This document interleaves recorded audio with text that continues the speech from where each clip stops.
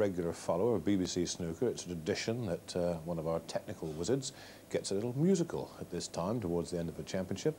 And this year, uh, a young wizard called Steve Bree has chosen the haunting strains of Albatross and Fleetwood Mac to illustrate that there's quite a big mental battle to go through in this game of snooker before you have a chance of putting the trophy on the old sideboard.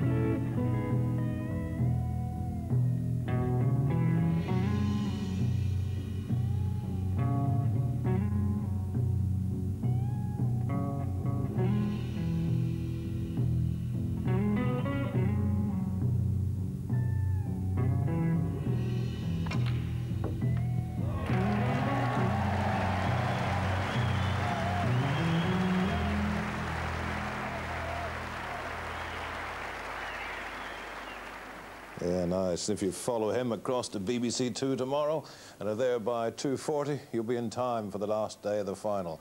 Should be a good one. Goodbye now.